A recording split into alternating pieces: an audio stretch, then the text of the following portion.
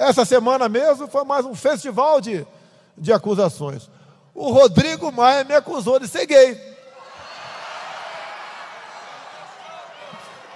Se bem que eu não considero nenhum crime ser gay. Agora, vocês repararam?